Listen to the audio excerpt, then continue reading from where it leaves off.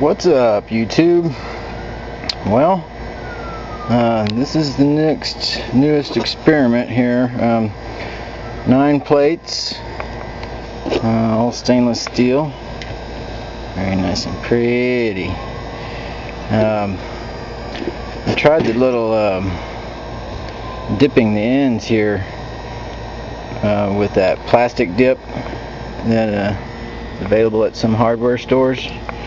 Uh, what you're looking at here is a nine plate system. This is my first one I've made. I haven't haven't actually tested this one yet, but uh, this one I have over here in the vessel, it's a little bit smaller. Um, my neutral plates are not the full size.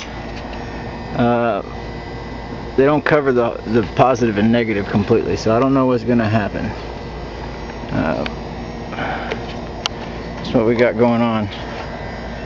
Um, but the last time I tested tested this sucker uh, with just regular plates in there, it, it rocked. It was rocking and rolling.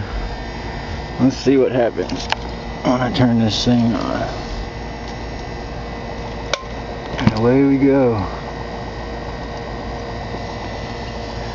As you can see, it's making a very nice amount of uh, hydrogen there. First time it's been on. Um, running well.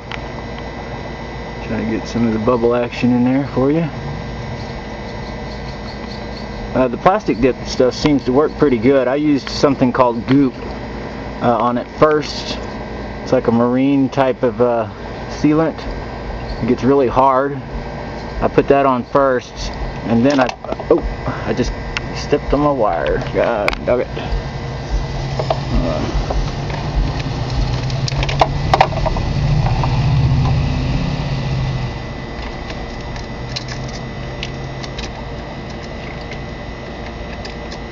There we go. Sorry about that. Yeah, I used the marine stuff first, uh, and then I put the dip on it last. On my connections, right.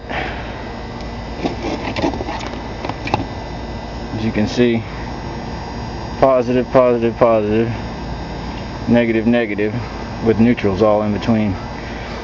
Ultimately, this one and the one I got in there are going to be hooked up together with it a with another nine plates I've got uh, in the works. So it'll be a total of 27 plates. Um, I don't think there'll be any shortage of hydrogen production. Anyways there it is